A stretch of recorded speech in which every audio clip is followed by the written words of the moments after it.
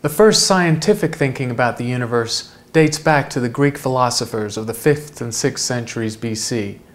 They applied logic, they formed hypotheses, and they tried to test the hypotheses, although this was a time 2,000 years before the invention of the telescope, and there was a limit to what they could do with the naked eye.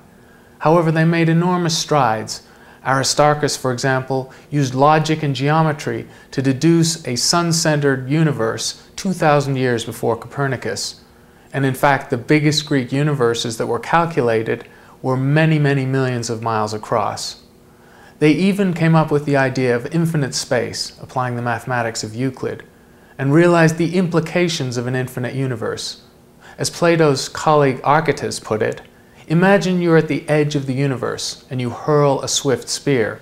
Do you imagine that this spear hits something, find a barrier, and bounce back? Or should it travel forever? And if it should travel forever, what lies beyond the edge?